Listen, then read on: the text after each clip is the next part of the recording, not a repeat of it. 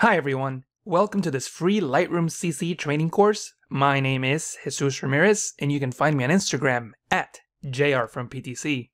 As you know, usually this channel does video tutorials on Photoshop, but Adobe just released this new completely redesigned version of Lightroom called Lightroom CC. Actually, the full name is Adobe Photoshop Lightroom CC, so it still has Photoshop in the title. Before we get started, I would like to point out a few things. First, you can watch this course in one of two ways. By watching the single video that contains all the chapters, or you can go into my video playlist on YouTube and watch each chapter on its own video. The link to the playlist is on the description. Also, the only payment that I ask from you is to hit that subscribe button and notification bell, and to please share this course with your friends. Okay, let's get started. I would like to start out this course by first explaining that there are two versions of Lightroom. There's Adobe Photoshop Lightroom CC. That is a new photography service designed to be a cloud-based ecosystem of apps that are deeply integrated and work together seamlessly across desktop, mobile, and web. That means that they all have pretty much the same layout, and if you make an adjustment to a photo in one of these apps, it will automatically get updated across the entire ecosystem. The Lightroom that you knew from before has now been rebranded as Adobe Photoshop Lightroom Classic CC and Lightroom Classic is exactly as you remember it. It's the old file to folder based workflow that many photographers are using as opposed to the cloud native service of Lightroom CC. In this course, we're going to focus on the cloud based service, Lightroom CC. The first step is to import the raw files that we will use in this training video. To import the files, you can click on this plus icon, then click on Browse. I'm going to load these files into Lightroom. You can hold Shift and click on the first and last photos to select them all. Then, click on the Review for Import button. In the Review for Import window, make sure that all files are selected. The photos should have this blue circle with a white check mark. Also, the Add to Album option should be set to None. We will discuss albums in a moment. Then, press the blue button. The photos will be imported into Lightroom and you will see them in the film strip on the bottom part of the application frame. Also, these files are currently being uploaded to the cloud, so you could also edit them on your Lightroom mobile app and in Lightroom Web. Before we go any further, I would like to explain to you how these files are organized inside of Lightroom. Click on the My Photos icon.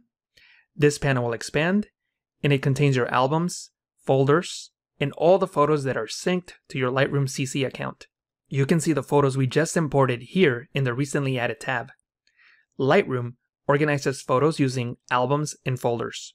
Currently, I have four albums, including one that has all my photos shot with the Lightroom mobile app. I don't have any folders yet, but I'm going to explain what they are in a moment. First, let's create a new album where we will keep the photos for this training video. Click on this plus icon, then select Create Album, Name this album Lightroom CC Training. Check this box to include any selected photos. In this case, I only have one photo selected. Click on Create, and Lightroom will create the new album and include the selected photo. Then you can simply select and drag the other photos into the Lightroom CC training album. When you see the blue highlight, you can release, and those photos will be added into that album.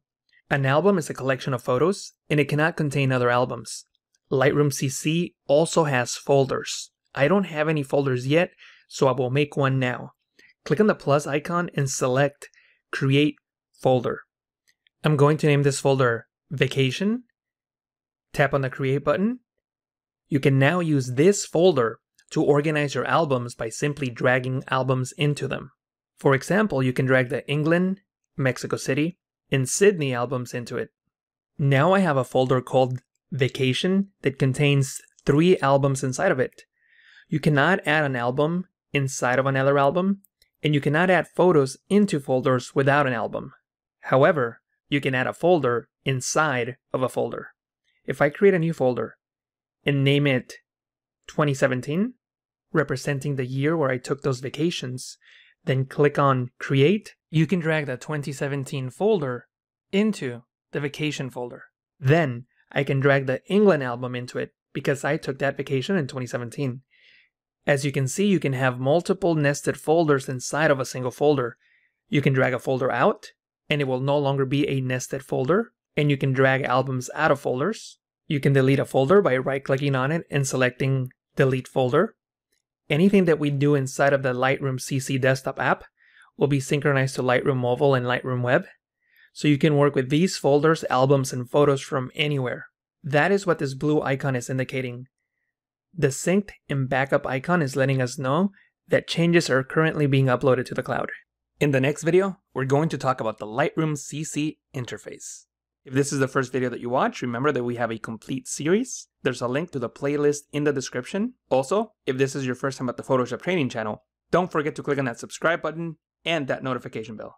Thank you so much for watching, and I will talk to you again in the next video.